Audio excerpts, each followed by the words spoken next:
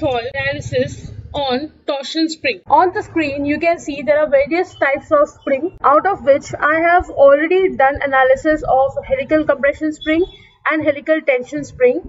I will give the link of both the analysis in the description box. Today I am going to solve torsion spring. So this is how the torsion spring looks like. There are various applications of torsion spring and how does it work? I will tell you in short. If you look at the torsion spring, one end of the torsion spring is going to be fixed and the other end you will apply some force or some movement. Now it can be possible that on the sides you apply some force balancing each of them or I can say one end has fixed and the other end has some force which is equal and opposite to the force reaction at this end. So it can be either force or moment at the two ends. I will show you some examples of it. This is the first example which you see over here. This is a mouse trap. You can see in between there is a torsion spring which is attached. One end is attached to the end here and the other end of the torsion spring is attached here. So as soon as the mouse enters over here, there's some load at this end. Obviously the spring back action is going to pull this trap and close the mouse into it and that spring back action happens because of a spring which is torsion spring attached over here. So this is one example.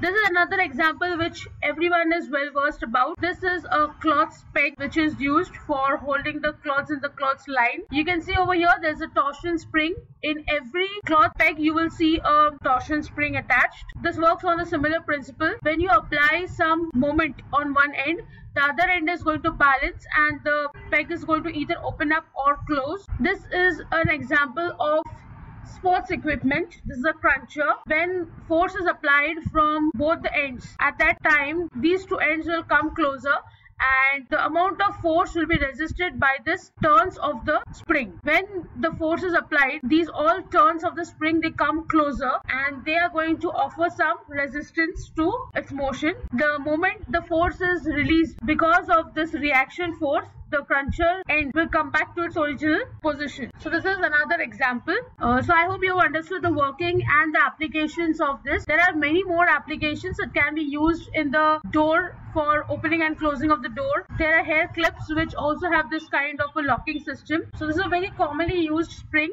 Now let's go for the analysis of the spring. I'll go to ANSYS workbench. I'll go to static structural and double click.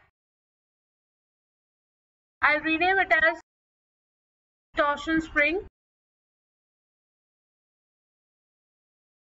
Right click on geometry.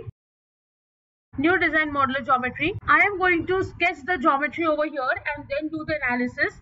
If you want, you can also download the step file or STP file and do the analysis. I'll go to units, millimeter, XY, look at. I'll first sketch a straight line and give it some dimensions. Say 50 I'll also attach the link from where you can download the step file of this geometry. I'll go to model now. I'll make a new sketch. I'll go to sketch 2 sketching. I'll draw a circle here. I have used the same method for making a compression spring. You can go and check the video. I'll give it some dimensions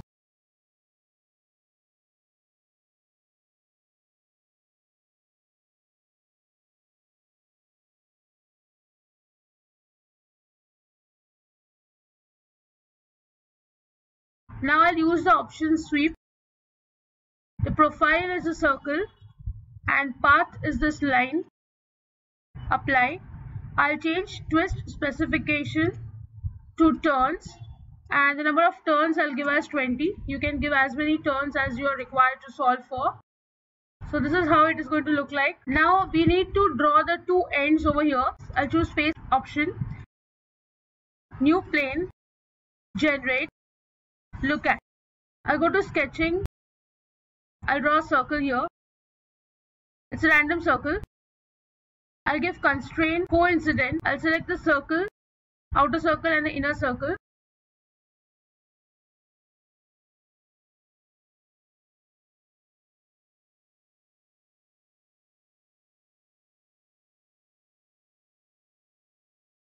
Okay, there's a small problem here. That is, when I was using the sweep option, these circles have become too close to each other. So I'll just go to sketch 2 and change this dimension to 2.5.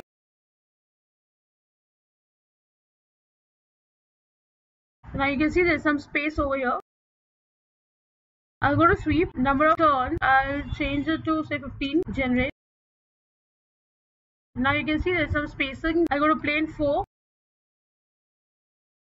sketch, look at. Now I'll use the option of constraint, coincident. I'll select the outer circle and the inner circle and has become coincident. Now I'll extrude the circle, apply to a depth of say 30, generate. Similarly, on this face, again I'm going to use the same method.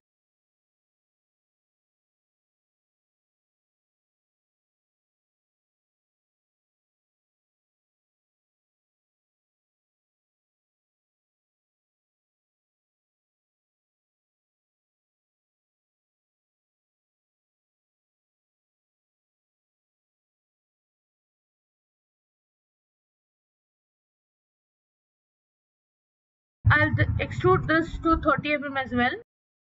Generate.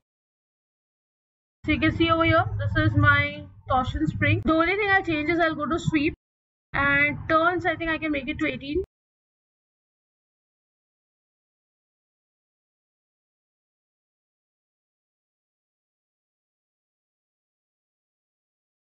I can make it to 19, not 20, just 19 is fine. So this is how you make a torsion spring. This is my geometry. Now I'll go to model and double click on it.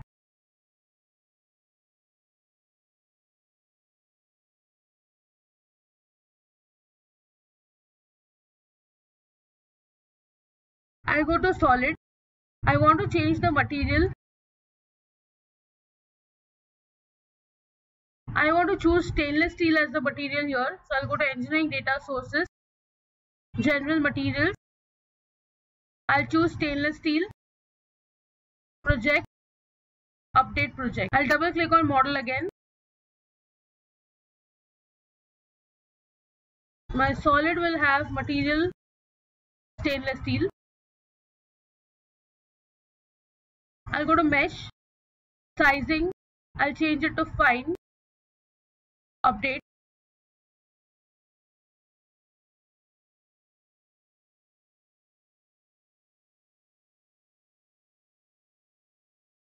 Now I'll go to analysis settings.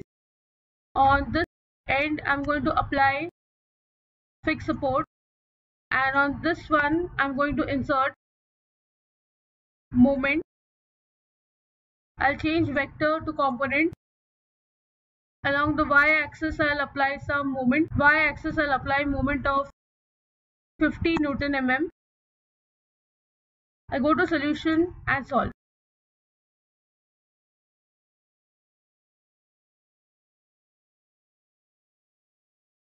I go to solution, right click, insert, stress, equivalent von Mises. Right click, insert, strain, equivalent von Mises. Right click, insert, deformation directional. Say I want the deformation along y-axis.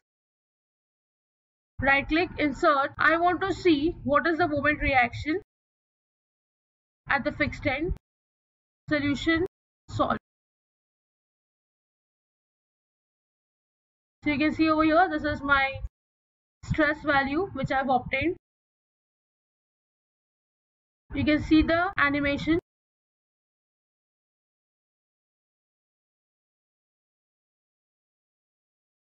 This is my equivalent strain.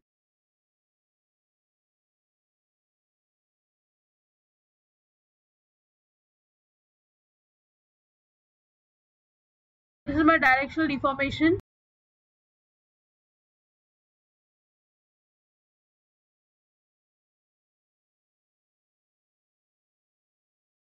Finally, this is my moment reaction which I have obtained. The value we can see to the left over here. So this is how the analysis is supposed to be done. Instead of moment, you can also use force, but you'll get better results when you use moment. So I hope you have understood the geometry making of torsion spring and its analysis. Don't forget to like, share and subscribe to my channel. Hit the bell icon for getting the latest updates of my videos. If you have any doubt do let me know in the comment section. If you have any question which you want me to solve, also let me know in the comment section regarding that. I'll see you in the next session. Thank you.